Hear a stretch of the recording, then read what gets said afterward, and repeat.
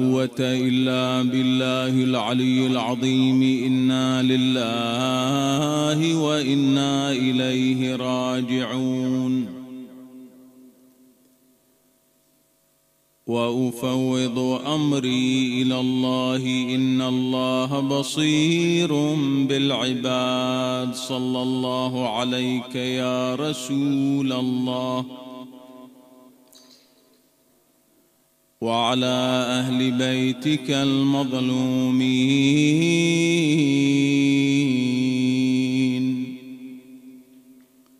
لعن الله الظالمين لكم من الأولين والآخرين. صلى الله عليك يا سيدي ويا مولاي يا أبا عبد الله. صلى الله عليك يا ابن رسول الله وابن أمير المؤمنين وابن فاطمة الزهراء. سيدة نساء العالمين روحي وأرواح العالمين ومن في الوجود. لك الفدا يا قتيل العدا ومسلوب العمامة والرداء يا سيد الشهداء. فيا ليتنا كنا معكم سادتي فنفوز فوزا. عظيما يا غريب يا مظلوم كربلاء. ما لي وللبين لا أهلا بطلعته.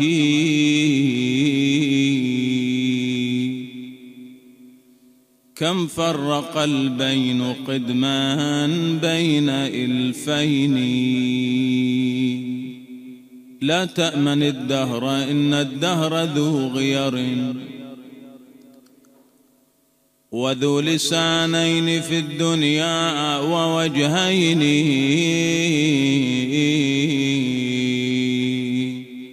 أخنى على عترة الهادي فشتتهم. فما ترى جامعا منهم بشخصين كأنما الدهر آلى أن يشتتهم. كعاتب ذي عناد أو كذي دين بعض بطيبة مدفون وبعضهم بكربلاء وبعض بالغريين.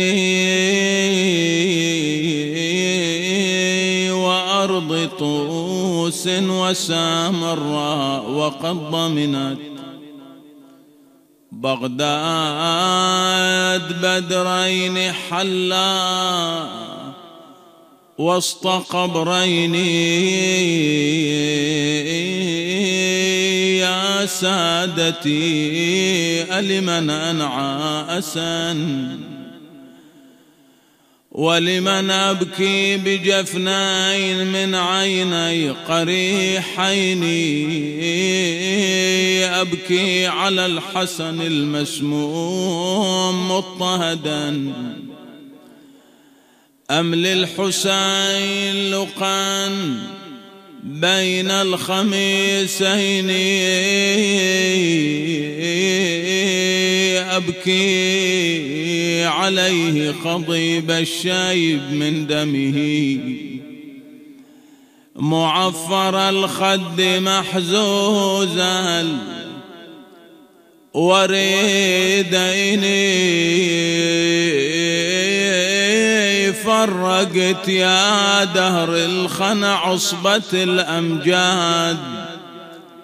طيبة حوت لابا وبرض الطف الأولاد وبرض الغريم هاي يوم سامرة وبغداد وما الرضا يا دهار وديته إلى هناك. مدريش جنيتو في دهركم يا أهل البيت. حتى رماكو يوم بالبلاء ويدي التشتيت وشلك عليهم يا دهاير حتى استوفيت. مدرش جنى وياك حتى ما خذ قضاك. ولا بلد الله وفيها منهم رمويوس منهم جماعة بكربلاء دفنوا بلا روس وياهي مصيبة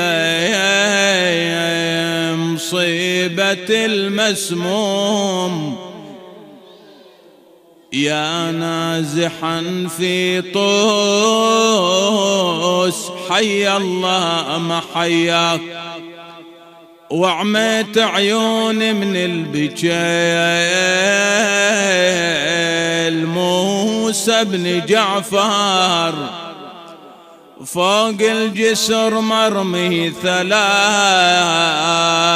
الله. ومن جثته دوم يفوح المسوك لذفار والله حسافه يا إمامي ما حضرناك. منهم بسامرة ومنهم في خراسان ومنهم بر الطيبة ومنهم برض كوفان. لكن واعظم مصيبة مصيبة المذبوح. كل المصايب هونتها مصيب. ولكن الأمر لله ولا حول ولا قوة إلا بالله. العلي العظيم وسيعلم الذين ظلموا أي منقلب ينقلبون والعاقبة للمتقين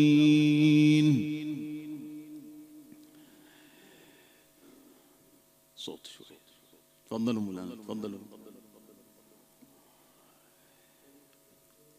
من سلسلة أحداث هذا الشهر جماد الآخرة وتحديدا في آخره رحيل وفاة السيد محمد بن الإمام الهادي سبع الدجايل. وطبعا الحديث عن هذه الشخصية يحتاج شوية إلى أن نتوقف حتى نستخلص بعض الدروس بعض العبر من حياة هؤلاء القادة والسادة. السيد محمد ابن الإمام الهادي وهو الولد الأكبر للإمام. عندنا رواية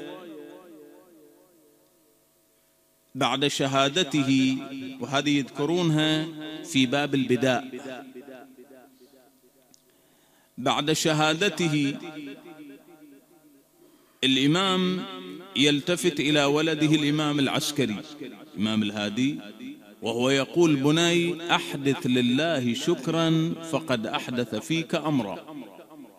هذه يذكرونها في باب البداء. الناس كانت تعتقد بأن الإمام بعد أبيه هو السيد محمد. زين؟ لجلالة قدره لعظم منزلته لعبادته لعلمه ها؟ فكانت الناس تعتقد بأنه هو الإمام بعد الإمام الهادي. ولكن الله سبحانه وتعالى بدد هذا المعنى ها؟ ما يصير إذا هو الإمام بعد أبيه كيف يموت قبله؟ فقال له أحدث لله شكرا. الناس كانت تعتقد وتبدد هذا المعنى ها؟ زالت هذه الشبهة. ترى مو هذا هو الإمام بعد أبيه؟ هذا المعنى أيضا نقرأ بالنسبة إلى السيد إسماعيل ابن الإمام الصادق. نفس العملية. السيد إسماعيل ابن الإمام الصادق أيضا عالم جليل القدر له مكانته الاجتماعية. الناس كانت تعتقد بأنه هو الإمام بعد أبيه. ولكن السيد إسماعيل مات قبل الإمام الصادق. أكو وجه شبه ها؟ بين القضيتين. هذا يذكرون في باب البداء. أحدث لله شكرا فقد أحدث فيك أمرا. السيد محمد ابن الإمام الهادي. طبعا من الأمور المهمة جدا أن الرجل كان يتمتع بشخصية علمية أول مرة.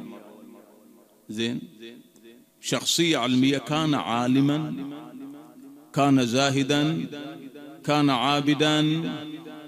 السيد محمد ابن الإمام الهادي خرج من المدينة إلى سامراء لزيارة والده. زين؟ وليش طالع من المدينة إلى سامراء كما نعلم جميعا بأن الإمام الهادي كان يخضع للإقامة الجبرية في سامراء مضيق عليه. فخرج طلع السيد محمد لزيارة والده. شد الرحال لزيارة إمام معصوم مفترض الطاعة. وليش يطلعون يعني من المدينة؟ يبقى في المدينة. هذا المعنى الذي نقرأ بالنسبة للسيدة أيضا فاطمة المعصومة. طلعت مع كوكبة مع مجموعة من السادة من إخوتها من أولاد الإمام باب الحوائج لزيارة الإمام الرضا في خراسان. زيارة الإمام المعصوم يعني الوصول إليه هذا جزء من الواجب. مو نقول بأنه الروايات نقرأ من زاره عارفا بحقه. ما معنى عارفا بحقه؟ يسأل الإمام.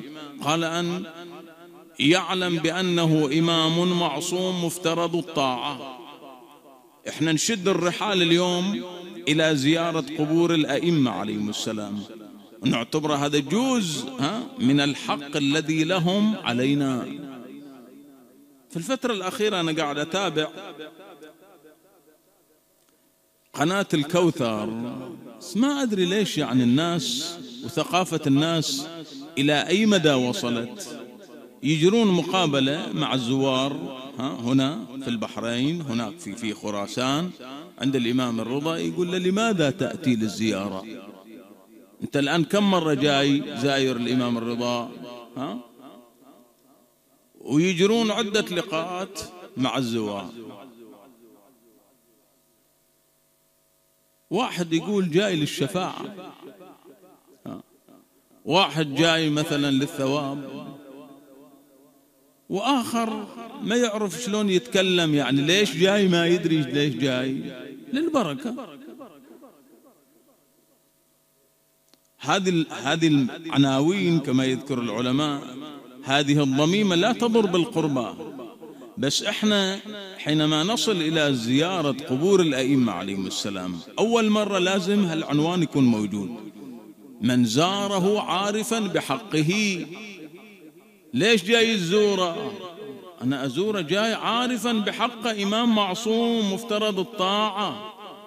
وفي نفس الوقت أنا أريد أوصل رسالة ها؟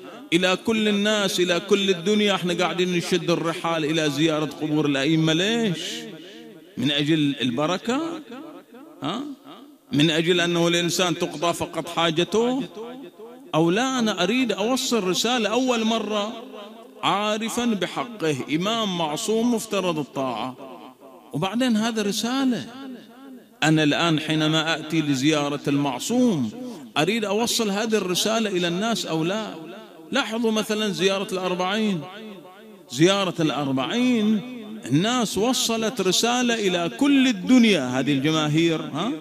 الغفيرة الحشد المليوني وصلوا رسالة إلى أقصى الدنيا بأن هذا إمام معصوم مفترض الطاعة ومظلوم ها؟ وارتكب في حقه هذا العمل الشنيع. ومجزرة حدثت. وإحنا ليش جايين بعد؟ نزور هذا الإمام أو غيره ها؟ من أجل أن نقتدي به أيضا. من أجل أن نقتدي به ونتمثل مواقفه في حياتنا العامة. فإذا الإمام حينما يزار يجب أن يزار بهذا الاعتبار. فالسيد محمد طلع من المدينة إلى سامراء. زين؟ وما يدريك خروج السيد محمد ابن الإمام الهادي من المدينة إلى سامراء حتما كان يحمل رسائل الشيعة. حتما كان يحمل رسالة من الشيعة إلى والده. صور راح يطلع هكذا؟ يحمل أمر خطير. ربما التاريخ لم يفصح عنه. لكن يحمل أمر خطير إلى والده. وكما قلت رسالة كبيرة يحملها السيد محمد إلى الإمام الهادي. التقى بأبيه هناك ثم أقفل راجعا. طلع إلى منطقة بلد وصل هناك. منطقة بلد هذه التي توفي فيها. بس قبل وفاته هناك شيء مهم في شخصية السيد محمد بن الإمام الهادي أن السيد محمد كان مفزع الشيعة هناك. كان مرجعا لشيعة أبيه وراعيا لمصالحهم. السيد محمد كما قلت كان جليل القدر كان عالما عند إحاطة بمسائل الحلال والحرام وبعلوم القرآن. ولذلك الشيعة كانت تفزع إليه هناك. يعني السيد محمد أدى هذا الدور وهذه الوظيفة ها؟ وظيفة التبليغ والإرشاد وإيصال صوت الحق إلى الناس. السيد محمد أدى هذه الرسالة. كما قلت الناس كانت تفزع إليه. أضف إلى ذلك سيد محمد يعني كان عالما عابدا زاهدا شجاعا. هذا قل أن تجد مثلا صفة الشجاعة تجتمع يعني مو بالضرورة قد يكون عالم ولا يكون شجاع. قد هو يصل إلى مرتبة من العلم ولكنه ليس شجاعا. يعني الآن إحنا إذا نذكر من ضمن صفات المرجع مثلا ها؟ الصفات من الصفات المهمة لمرجع التقليد الشجاعة. وهذا الشرط مو موجود ما يذكرونه ها؟ يذكرون شروط في الرسائل العملية. بس هذا الشرط مهم جدا. شجاع يعني شنو؟ يحمل سلاح؟ لا. هناك عنوان للشجاعة غير هذا العنوان مو يحمل سلاح. يعني مرجع الدين نقول صفة الشجاعة لابد أن تكون موجودة في شخصيته يعني يصدر الفتوى ويتخذ القرار في الوقت المناسب ما عليه من أهواء الناس وأذواق الناس. شجاع كالسيد الشهيد رحمة الله تعالى عليه قبل أسابيع عشنا ذكراه ها؟ رحيلة سيد محمد باقر الصدر الشجاعة هنا يصدر فتوى. شوف الشجاعة. بحرمة الانتماء لحزب البعث الكافر. شجاعة لو مو شجاعة هذا؟ في الوقت الذي مجموعة كبيرة من العلماء وفضلاء الحوزة أساتذة الحوزة لا يستطيعون أن ينطقوا بكلمة ضد النظام. المرة يجي يصدر فتوى؟ ها؟ يحرم فيها الانتماء إلى حزب البعث ويعلل ذلك بأن ذلك الحزب حزب كافر. لكن هذه الفتوى كلفته حياته كلفته دمه. متحمل كل النتائج السيد كان متوقع كل النتائج أصدر هذه الفتوى وقبل اعتقاله وقبل إعدامه. حاصروا بيته تسعة أشهر تسعة أشهر. حاصروا بيته. تضييق؟ اعتقل في المرة الأولى. وخرجت أخته البطلة واقعا بطلة كربلاء بنت الهدى. خرجت إلى الصحن الحيدري وهي تقول الظليمة الظليمة لقد اعتقلوا مرجعكم. ترى أحدث الضجة ها؟ أججت النفوس صارت ردود فعل. اضطر النظام على إثر ذلك الموقف. الجماهيري ها؟ الضغط الناس خاف. أمر بإطلاق سراحه هذا الاعتقال الأول. ثم بعد ذلك المحنة مرت عليكم مفصلا. الشاهد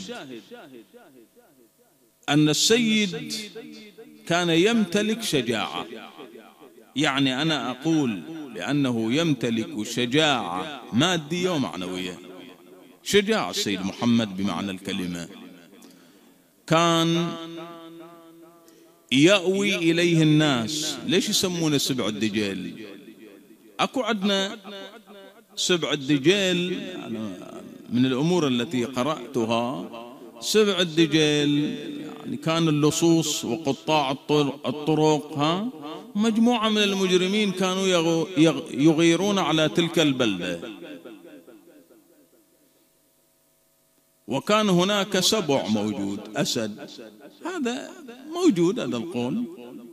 كان يدفع عنهم الأعداء واللصوص ها؟ وقطاع الطرق. بس لا هو السيد نفسه مو سبع ها؟ هو السيد محمد نفسه كان يتصدى إلى الأعداء إلى اللصوص إلى قطاع الطرق ها؟ كان شجاعا كان قويا ها؟ قوي في إيمانه قوي في بدنه ها؟ عالم زاهد عابد شجاع. ولذلك لقبوه بسبع الدجال سبع واقعا أسد ها؟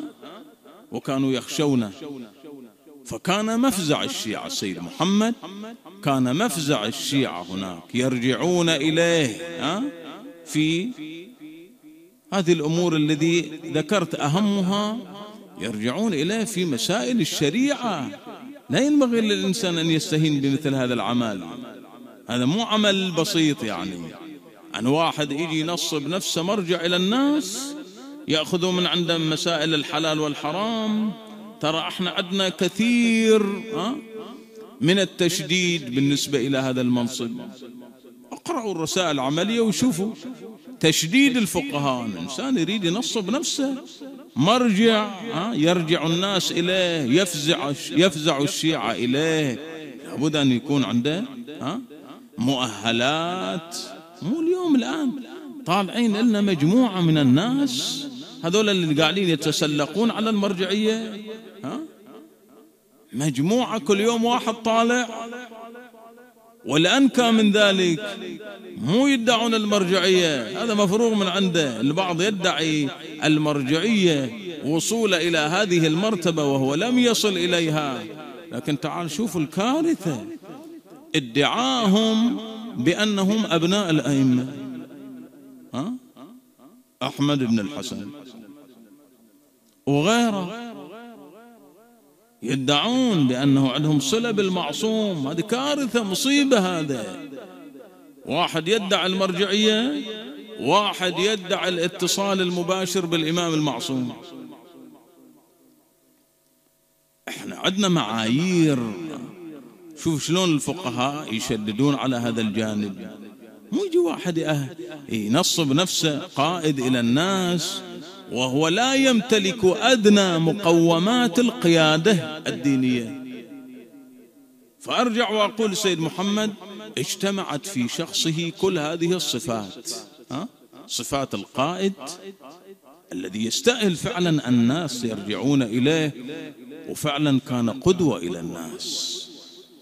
قدوة إلى الناس مو بلسانه فقط. كونوا دعاة لنا بغير ألسنتكم. الإمام الصادق كونوا دعاة لنا بغير ألسنتكم. كونوا دعاة صامتين. كيف ندعو ونحن صامتون؟ قال تعظون الناس بمواقفكم؟ بمواقفكم؟ بصدق حديثكم؟ بأمانتكم؟ بأخلاقكم؟ هذه هي الموعظة. هذه هي الدعوة الصحيحة. ولهذا الرواية تقول أن الناس التصقوا به. أحبوه بقدر ما يخلص الإنسان القائد للناس تشوف الناس تتعلق به. فما بالك إنسان نذر كل حياته لخدمة الناس؟ مو يحبونه يعشقونه شوف إذا واحد نذر حياته كما نقرأ في سيرة أئمتنا عليهم السلام. نذروا حياتهم علما إلى الناس. ماكو واحد من المعصومين عاش لذاته عاش لرغباته عاش لأهوائه وإنما نذر نفسه لخدمة الناس. كانوا يعملون ليل نهار من أجل سعادة الناس مستقبل الناس. وأرجوكم الآن إحنا كل هذا الذي نقرأه وقرأناه وبطون الكتب وغير ذلك ها؟ انجي في بعض تصرفاتنا الآن اللامسؤولة ها؟ نخلي كلام المعصوم جانب ها؟ وين توصيات الأئمة؟ وبعدين يقولون الرياش عنده انتقادات كثيرة. لمن حقك أن تنتقد ومن حقك أن تناقش المجال مفتوح. بس أنا بين هلالين أريد أبين ظاهرة هذه موجودة ما دمت أشرت إلى مسألة الدعوة ها ظاهرة موجودة في كل مناطق البحرين. شنو هذه الظاهرة؟ الجلوس في الطرقات ها؟ طرقات نجلس ونفتح مضايف. هو محرم يفتحون مضايف شاي قهوة إلى آخره. الحين المضيف نفسه يفتحونه يقعدون فيه. ها؟ سوالف ضحك ها؟ تبديد وقت وتعالوا شوفوا. أنا قاعد أتابع طبعا هذا المعنى. بعضهم يجلس على قارعة الطريق. أو على عتبة بيته. وبعضهم يتخذ شنو؟ مضيف. وحتى المساجد الآن. شايف؟ بعض المساجد يخلون كراسي ها؟ وقهوة وشاي وقعدة وبعضهم في فناء المسجد. وين وصلنا إحنا؟ وليش هذا قاعد يصير؟ وكل واحد مجود هاتف النقال وينتقل من موقع إلى آخر. ها؟ اليوم صارت ثقافة الناس بهذا المستوى. جل الناس ها؟ ثقافة الواتساب. هذا صح يعني؟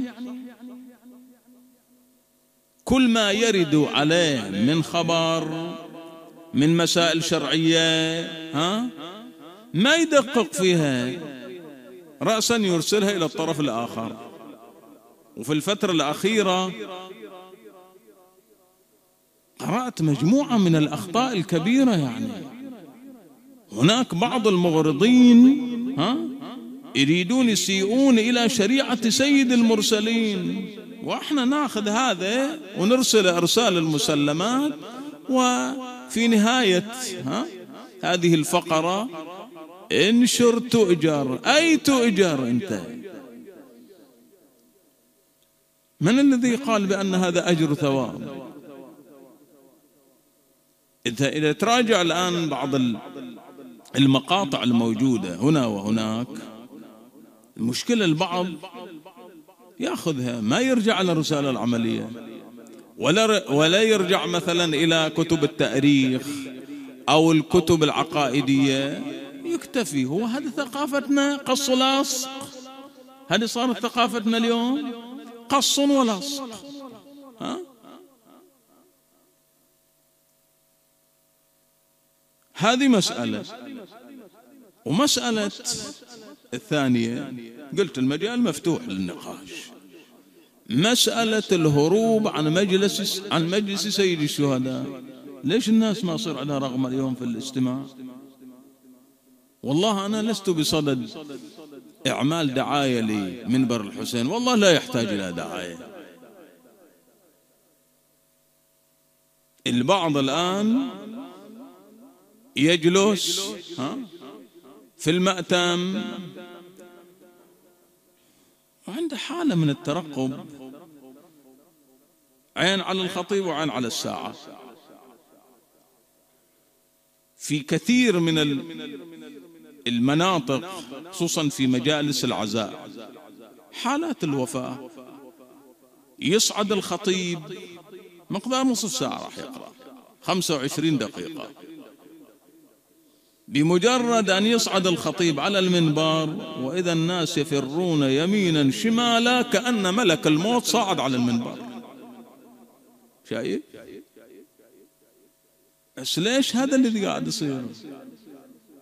وليش الاستهانة بمجلس الحسين؟ ها؟ والله إخواني هذه من أعظم النعم علينا. شوف هذه نعمة. بس إحنا إذا لم نقدر هذه النعمة لم نلتفت إليها يمكن نخسرها في يوم من الأيام. كما خسرها غيرنا. لاحظوا؟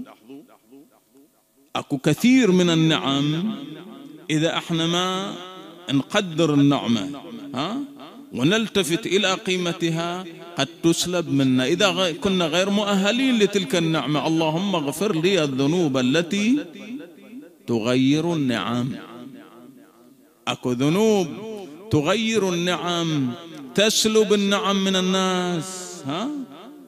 أرجوك إذا صار مستوى الناس تفكير الناس انه يجي ها؟ يقلل من مجلس الشهداء. يستهين لا يرغب في الحضور. هذا خليه يعيد النظر هو عند الخلل فيها مو في المجلس. الخلل في شخصيته. هو مواعي آن الأوان أن نتعامل مع مجالس سيد الشهداء بوعي أكثر بمسؤولية أكبر. هذه أمانة. الإمام الصادق عليه السلام يقول تجلسون وتتحدثون. إن تلك المجالس أحبها. أحيوا أمرنا. رحم الله من أحيا أمرنا. مولانا الرضا يقول من جلس مجلسا يحيا فيه أمرنا لم يمت قلبه يوم تموت القلوب. أرجع. وقتنا بعد انتهى. السيد محمد. بعد الدور الذي أداه الدور الرسالي دور رسالي واضح. أدى ذلك الدور. أوصل الرسالة منطقة بلد؟ هذه المنطقة سامراء. سيد محمد طبعا ظهرت مجموعة كبيرة من الكرامات على يديه في حياته بعد موته. أهل العراق معروف عندهم. كانوا يهابون السيد محمد. غريبة يعني بعض الشعوب ما أدري شلون. ربما تشوفه يخاف من العباس أكثر من خوفه من الله. ها؟ قل لي أقسم بالعباس؟ لا يقسم بالعباس. اقسم بالله؟ نعم يقسم بالله. شايف وبعضهم هكذا عنده تفكير للأسف الشديد يعني. يقولون واحد من العراق هذا ولا من الأرياف من القرى؟ هذا ما يدري بهالعناوين يقولون له فلان شيوعي. شيوعي يعني شنو؟ هذا في القرى وفي الأرياف. شنو شيوعي؟ ها؟ رأسمالية وماركسية وفلان وفلان. ما يدري. قال شنو يعني شيوعي؟ قالوا له الشيوعي يعني ينكر وجود الله ملحد. قال عجيب. يعني يقول الله ماكو؟ قالوا يقول الله ماكو. قال باكر يقول العباس ماكو بعد. شوف عند هذه أعظم من تلك. فأهل العراق يجون عند السيد محمد خصوصا في القضايا المالية. إذا واحد سارق مال ها يقولون إلى أقسم بالسيد محمد بأنك لم تسرق المال. لا يقوم يرجع المال ولا يقسم بالسيد محمد يخاف. يقولون له ليش قال يشور بي يا سيد محمد؟ يخافون من عنده ها؟ كما كان في حياته بعد موته. كان مهابا كان معظما. مثل ما قلت ظهرت كرامة على يده في حياته بعد موته. ها؟ وكان ولا زال مقصد للزائرين. هذه من الأمور المجربة. التوسل بالسيد محمد. واحد ينذر للسيد محمد إذا ما عنده ولد. ينقلها للسيد الشيخ عباس القمي وغيره يقول هذه من المجربات ها؟ اللي ما عنده ولد يتوسل بالسيد محمد ها؟ فيرزق الولد الذكر. لكن هذا التوسل له شرائطه وتعلمون ذلك ها؟ إذا متى ما كان الإنسان مؤهل ومستحق إلى الإجابة الله سبحانه وتعالى يستجيب له. السيد محمد ختم سجل حياته. هالسجل هذا الحافل بالعطاء والتضحيات وكل معاني الخير ختمه بماذا؟ ما ما تحت فأنفه. بعض المحققين يقول إحنا نتوقف في أنه ما تحت فأنفه بل بأنه تعرض إلى اغتيال. دسوا إليه السم لأنه مجموع عمر السيد محمد 24 سنة. ها؟ دسوا إليه السم باعتقاد السلطة أنه هو الإمام بعد أبيه لاحظ؟ فدسوا إليه السم وقتلوه. يعني مات شهيدا قتل شهيدا مظلوما. السيد محمد لا زال علما ها؟ سبع الدجيل أنا قبل أن أختم هذه من المسائل من القضايا المهمة التي ينبغي أن نذكر بها. الدجيل هذه المنطقة التي تعرض فيها طاغية العراق إلى محاولة اغتيال حزب الدعوة رسموا خطة لأنه جاء إلى الدجيل هناك لإلقاء خطاب في الجنود ها؟ عند كلمة ورسموا خطة لاغتياله لتصفيته. وطاغية العراق خب ما يجي لوحده ها؟ ومثل أمثال. ولكنهم أخطأوا الهدف. ما أصابوا. نجا. لكن إيش سوى في الدجيل هذا تعرض. ها؟ لا أصيب بجرح. تعرض إلى محاولة اغتيال. قتل قرابة 148 نفس. ها؟ وقيل أكثر من ذلك. ثم قام بنسف البساتين. جرفها كلها. ها ونكل بالعوائل يعني عاث في الدجيل فسادا. أهلك الحرث والنسل مجازر سوى تعرض إلى محاولة تصفية. ها؟ ما صار في شيء. شايفين البعض هكذا اليوم. كلمة ها؟ تخرج ضده شو يسوي. ها؟ كلمة. واحد ينتقده مثلا ينتقد شخصيته وينتقد مواقفه. شو يسوي فيه؟ هذه كلمة. يستأهل الإنسان يعني كلمة حق ها؟ أن يسجن ثلاث سنوات خمس سنوات خمسة عشر سنة عشرين سنة خمسة وعشرين سنة ها؟ في أي دين في أي قانون تعرض اللعين لعنة الله عليه. إلى محاولة تصفية شوف سوى في الناس؟ وتلك المنطقة أذكر منطقة الموجود فيها سيد محمد ترى في هذه المرحلة ثبت أهلها. استفادوا من هالبطل الموجود عندهم ها؟ اقتدوا به اقتدوا بمواقفه. أبطال واقعا. في الوقت الذي إحنا نخاف نوصل اليوم لسيد محمد ها؟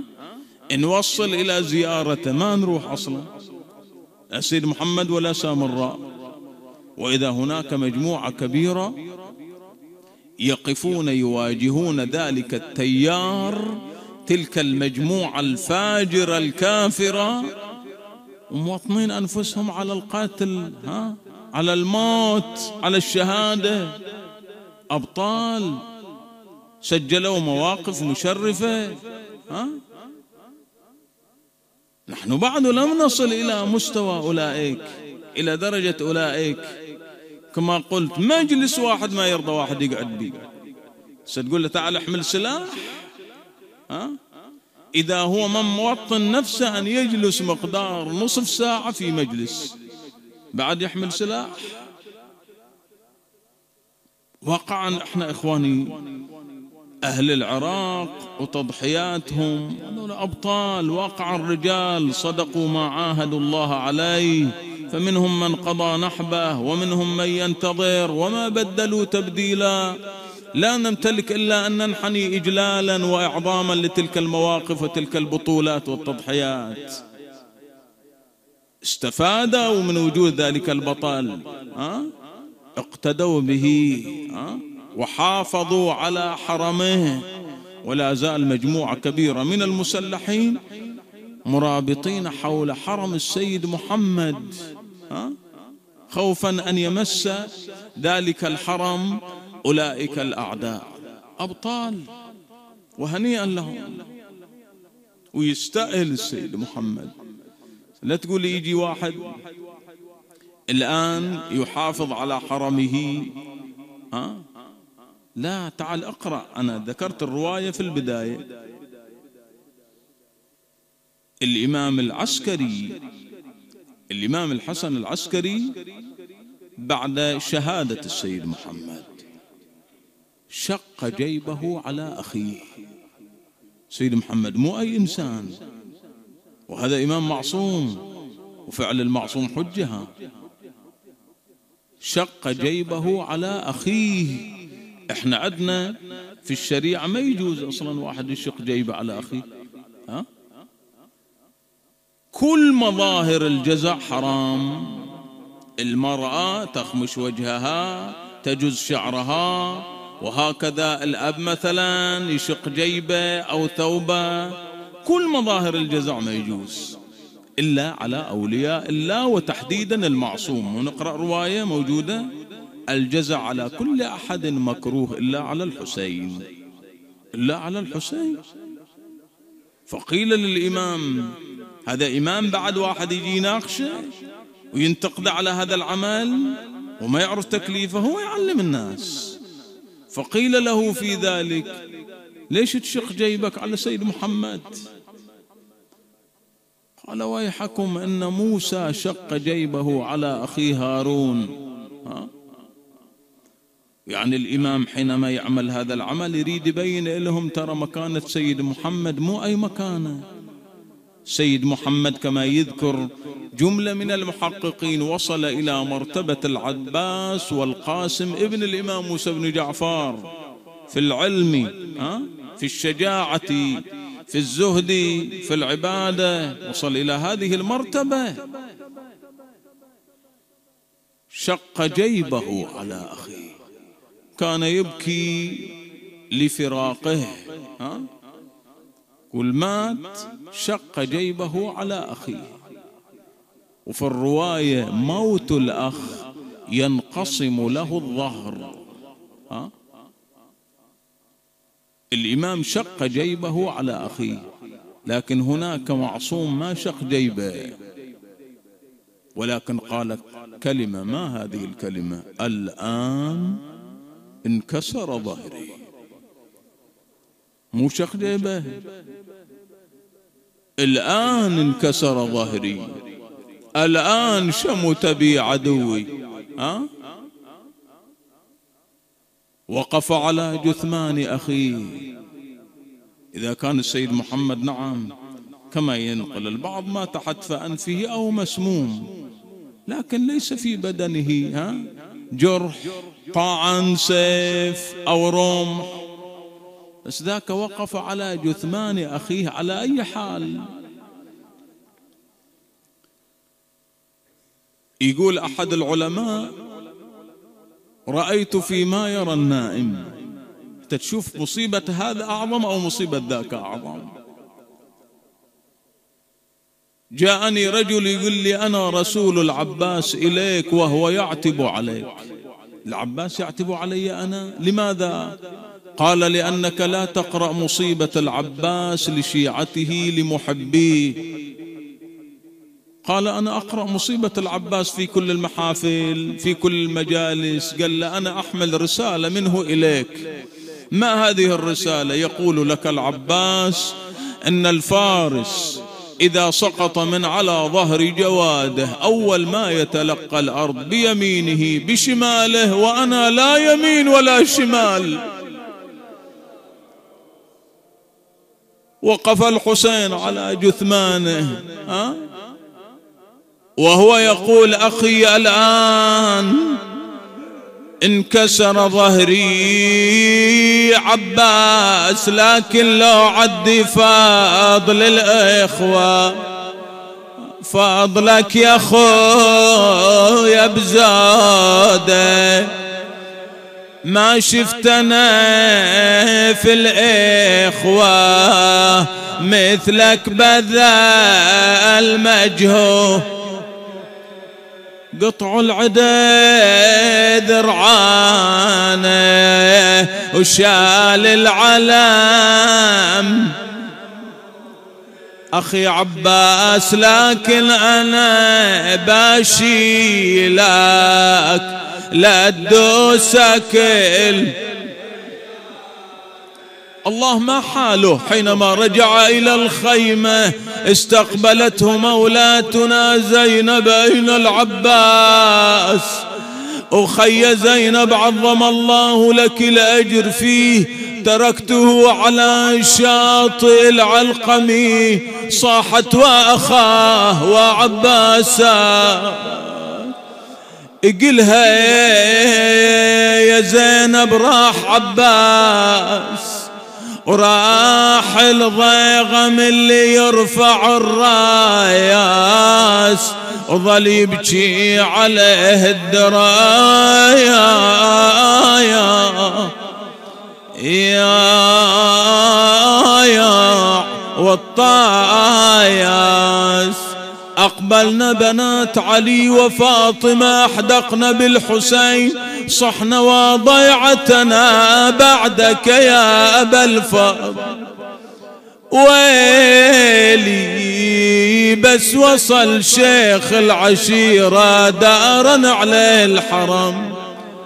زينب تنادي يا خويا وين شيال العلم؟